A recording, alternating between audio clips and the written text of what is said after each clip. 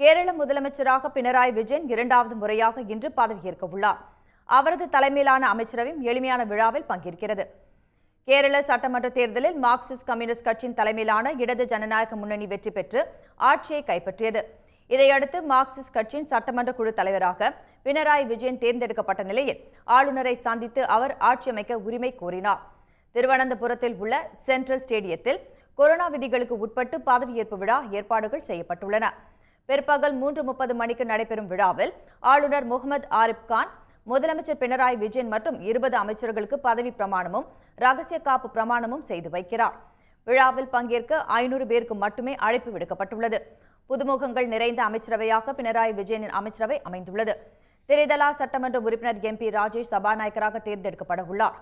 இதனிடையே சுகாதாரத்துறை அமைச்சராக சிறப்பாக செயல்பட்டு புகழ்பெற்ற கே கே சைலஜாவுக்கு அமைச்சர் பதவி வழங்கப்படாமல் கொறடாவாக நியமிக்கப்பட்டுள்ளது. சமூக வலைதளங்களில் கடும் சர்ச்சையை ஏற்படுத்தியது.